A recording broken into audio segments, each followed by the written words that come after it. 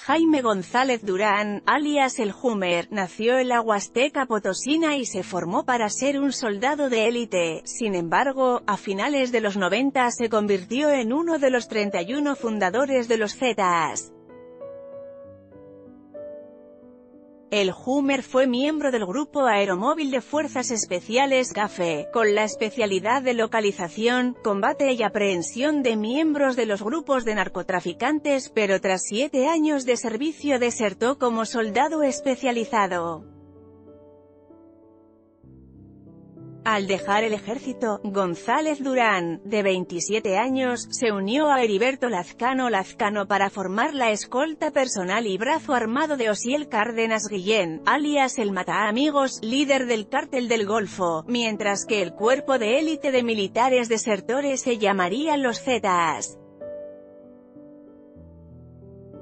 Tras el arresto de Osiel Cárdenas, el Hummer controló el envío de droga hacia Estados Unidos, mientras que en territorio nacional dirigía el tráfico de estupefacientes en Nuevo León, Michoacán, Hidalgo, Veracruz, Tabasco, Quintana Roo y la Ciudad de México.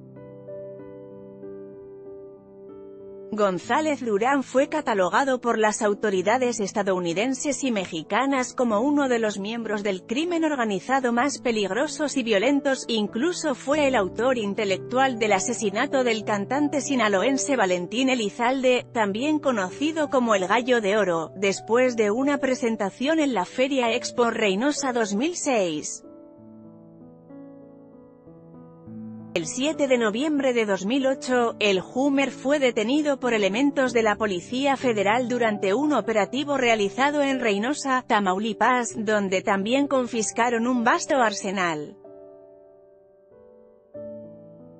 Sicarios de los Zetas bloquearon avenidas para evitar el traslado de González Durán a la CDMX, sin embargo, sus acciones no fructificaron y después de su arresto, fue ingresado en el penal del Altiplano, en Almoloya de Juárez, donde purga una sentencia inicial de 35 años, que eventualmente la cumpliría hasta 2043 a una edad de 72 años.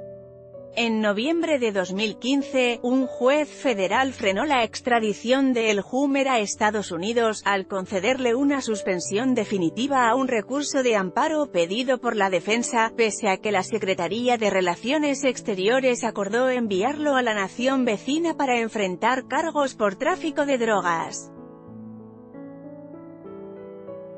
Actualmente, González Durán purga tres sentencias por un total de 73 años de prisión, los cuales debe cumplir en México para evitar enfrentar a las autoridades judiciales estadounidenses. Con información de Excelsior, Univisión y El Debate anímate a comentar. Queremos saber tu opinión. Comentarios Powered by Facebook Comments.